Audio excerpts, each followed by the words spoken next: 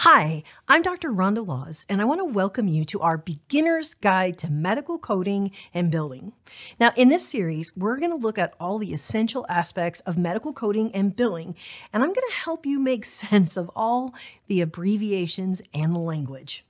As we jump into this topic, you'll discover how you, as a healthcare provider, are going to need to depend on accurate coding and billing processes in order for you to get proper payment for the services that you provide. Now, I'm going to break down the roles of the medical coders and billers so that you can understand how crucial their expertise and contributions are to the smooth functioning of the healthcare industry and to your personal reimbursement. Additionally, I'm going to provide an overview of the healthcare reimbursement system. Now, this will help you understand the financial side of the medical world. So, first off, I wanted to start you with the definition of this rule book that the entire world uses for medical coding and billing. It's called the ICD 10. All right, that's the first one of our abbreviations I want to make sure you're really clear on. So, the ICD 10 stands for International Classification of Diseases. The number 10 is the 10th revision. Now, 11 came out globally in January 1st, 2022, but the US isn't using that version yet when we're filming this video series. But watch for it, it's going to roll out over the next four to five years in the US. So for now, all of our references will be to the ICD 10. So Think of the ICD 10 It's like this super organized system for classifying and sorting information about people's health, why they might get sick, or even pass away. Now imagine if people from different countries wanted to share information about the health of their populations.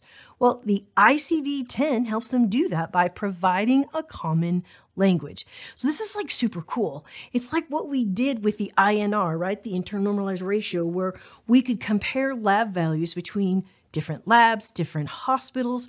They're all using the same references. That's all that ICD 10 is. It's taking the different language and things that we use in different places and bringing it all together with very clear definitions.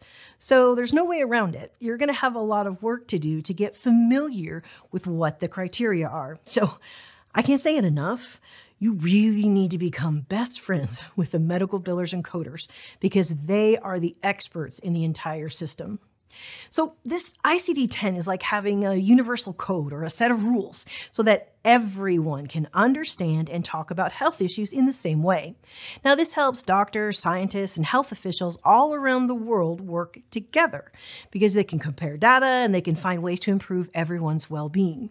Now, in simpler terms, ICD 10 is like a global rule book, and this is what helps everyone understand and talk about the health problems from the same perspective. It just makes it easier for people from different places to share information and work together to make everyone healthier now, the ICD 10 was first published by the World Health Organization. You see that often abbreviated as WHO. It was done in 1992.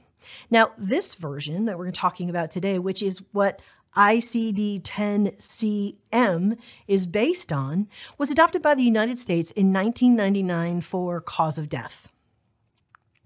Okay, so let's go back and talk a little bit about that ICD 11 because you're probably wondering what's the difference between ICD 11 and ICD 10, the one we are currently using in the US? Well, the biggest thing is this is the first version that is fully electronic, which gives you some pretty cool ways to search using this electronic search feature. Now, this version has access to 17,000 diagnostic categories. It has over 100,000 medical diagnostic index terms. And this index based search algorithm interprets more than 1.6 million terms. So, this is pretty cool. When ICD 11 rolls out and the US adopts it over a number of years, you're going to have some powerful search, which should save you significant time when you're seeking out the correct codes. You may also be wondering what's the difference between the ICD 10 and the ICD 10 CM? Well, CM stands for clinical modification, and a division of the Department of Health and Human Services in the U.S. was responsible for developing the program as an adaptation of the ICD 10. Now, they got authorization from the World Health Organization, but when these standards are used, you'll see CM, clinical modification because it represents an adaptation of the ICD 10 that was authorized by the World Health Organization. So let's pause for just a minute and kind of think back and reflect on what we've just talked about in this beginning discussion the value of the ICD.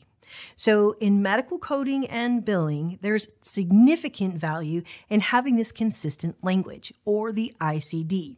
So, because this was created and adopted, we have this standardized language that is used globally that does three things it improves communication, helps compare outcomes, and it increases the efficiency of reimbursement.